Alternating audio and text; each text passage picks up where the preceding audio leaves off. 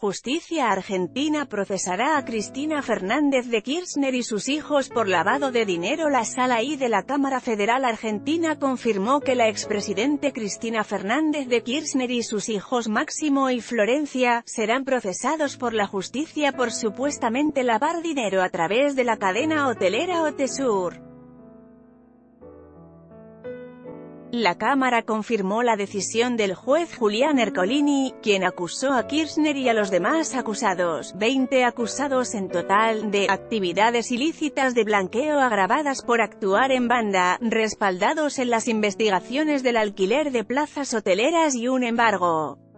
de 800 millones de pesos a los imputados, lea también, alto comisionado de ACNUR exalta atención hacia los venezolanos en Colombia, la hipótesis que investigó la Cámara fue que la expresidente y sus hijos recibieron dinero, bajo cierta apariencia de legalidad, a través de Otesur.